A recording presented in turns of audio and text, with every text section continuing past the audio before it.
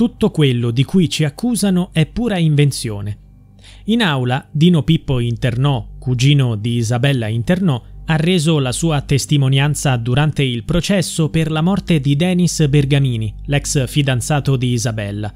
Denis era un calciatore ferrarese che giocava per il Cosenza ed è stato trovato morto sulla statale 106 Ionica, in prossimità di Roseto Capospulico, la sera del 18 novembre 1989.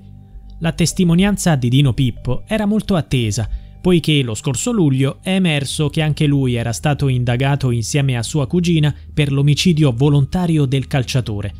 Tuttavia, mentre Isabella Internò è stata rinviata a giudizio ed è attualmente processata come unica imputata, la posizione di Dino Pippo è stata archiviata il 18 agosto, come dichiarato dal pubblico ministero all'inizio dell'udienza. Tuttavia, alla luce delle nuove informazioni che emergono, questa decisione potrebbe essere contestata.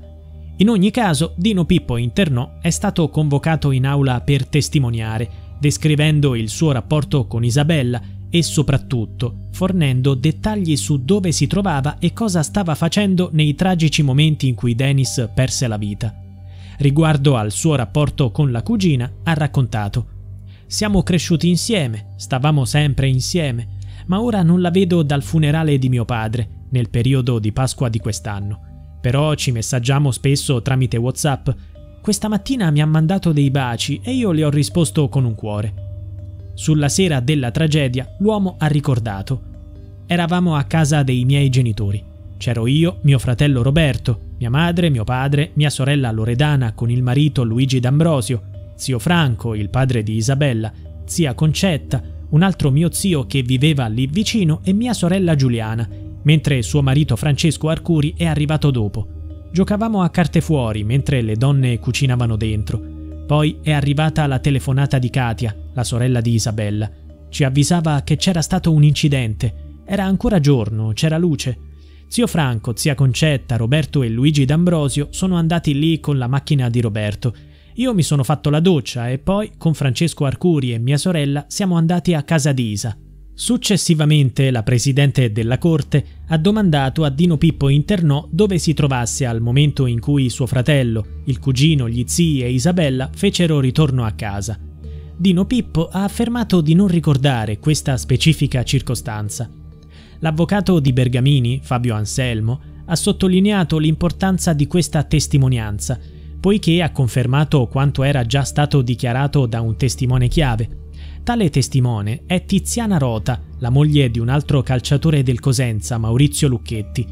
Circa una settimana prima del decesso di Bergamini, Tiziana Rota aveva riferito di aver incontrato Isabella in una pasticceria a Rende, nella provincia di Cosenza. Vicino a Isabella c'erano i cugini Dino Pippo e Roberto Internò. La testimone aveva affermato di aver riconosciuto solo Dino Pippo e aveva riportato una frase inquietante che le era stata confidata da Isabella. Se sanno che mi ha lasciato lo ammazzano. Il riferimento era a Dennis e alla fine della loro relazione. Dino Pippo ha confermato l'evento, ma ha cercato di ridimensionarlo. Mia cugina avrà detto così per modo di dire, sono cose che si dicono, ma portatemi la signora Rota perché voglio vedere se mi conosce, sono sicuro che non mi conosce. Dino Pippo aveva scelto di stare al fianco di Isabella durante i funerali del calciatore, tuttavia oggi ha espresso rimpianto per quella decisione. Se sapevo che succedeva tutto questo io il funerale nemmeno da lontano lo vedevo. Non eravamo lì per proteggere Isabella. Ricordo che Padovano, Michele, compagno a distanza di Denis, vicino alla bara ha urlato tre volte vigliacco Isabella, come accennato, è l'unica imputata per omicidio in concorso. Ma con chi avrebbe agito in concorso? Un aspetto è certo. Dennis non si è suicidato, come sostenuto da Isabella negli ultimi 34 anni. È stata vittima di un omicidio.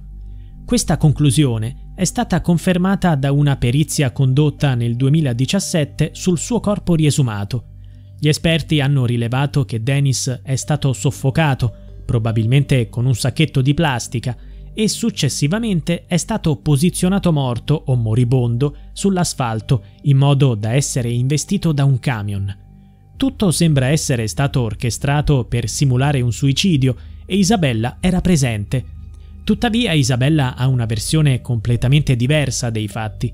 Sostiene che dopo una discussione il giovane abbia volontariamente cercato di gettarsi sotto le ruote del camion, intenzionato a mettere fine alla sua vita, secondo la sua versione dei fatti. Fino ad ora Isabella non ha ancora parlato in aula, ma è probabile che lo faccia nelle prossime udienze. Rimane ancora incerto quale sarà l'esito finale di questa vicenda. La partita giuridica resta aperta.